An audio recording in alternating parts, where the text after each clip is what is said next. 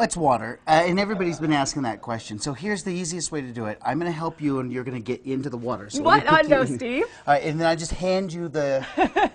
all right, well, if you want to do it the hard way, we can do it the hard way. So, all right, take a look at the uh, gander, the Okay. bowling ball selection here. Right, I did not lift them from a bowling alley. I actually these are these are defective ones, or maybe ones that people don't want anymore to garage sale or something. Right. I didn't know this, but all bowling balls are exactly the same size. Did you know that? No, I didn't. So uh, I checked out, and according to the Pro Bowlers Association, no ball should be more than 27 inches, nor less than 26.7 inches in uh, in circumference. So, um, so, so they all have to be the same, and I didn't realize that. So the only difference is the amount of stuff that they put inside, so the density of the bowling ball. Okay. So here, for example, hand me the 12-pound ball.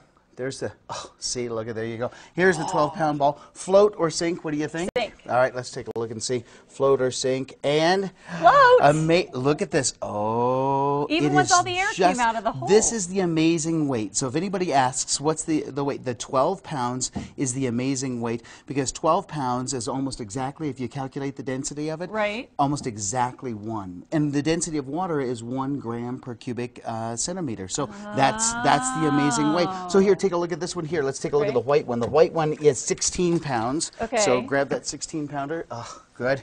Now you and I will just toss it back and forth for fun later on, Right. right? So Sounds absolutely no pro- problem at all. The 16 pounder sinks with no problem at all. Just because its overall density is greater than one. So it's really at about 1.3 somewhere around there. And this is an eight pound ball. Again, the same size. Right. But this is an eight pound ball. And so this sits over here. It really is, watch this. It's no wonder Oh, that yeah. floats. So if you're looking for a bathtub toy for your, your friend, you know, your niece, your nephew, you just get them an eight pound bowling ball. No rubber what could be more here. fun than, than that? It'll take out the side of the bathtub, but Right. it's a tremendous amount of fun to play with.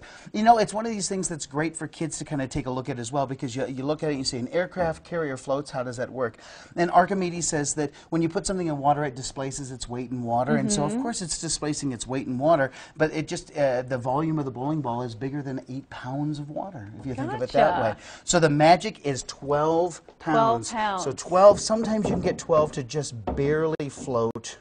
Uh, let's see if there's big enough for There it see, is. See, they're they're all jockeying for position in there. See Yep. how it goes, but just going to barely float that way. And now you've answered the question: Does a bowling ball actually float?